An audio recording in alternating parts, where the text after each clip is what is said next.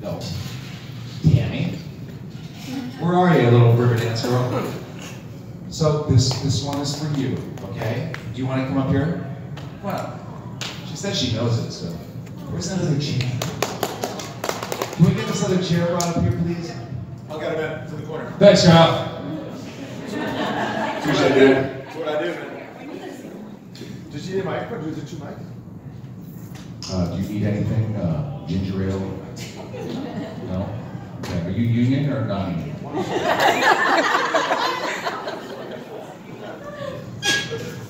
yeah. Okay, this is kind of this is actually an important song for, for me and my, my what is now my wife.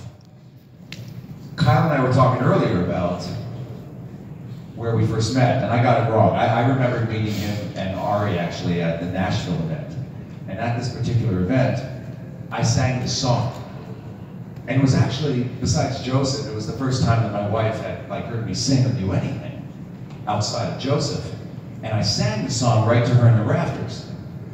And I mean, I was I was sweating, had my shirt off, and I was young and crazy and stupid, but um, we always talk about that. Like she always says, that's, that's my song because I like sh- stared right at her and sang to her. So, so can you play the role of my wife tonight? I know that sounds weird. Really? Will you help me sing it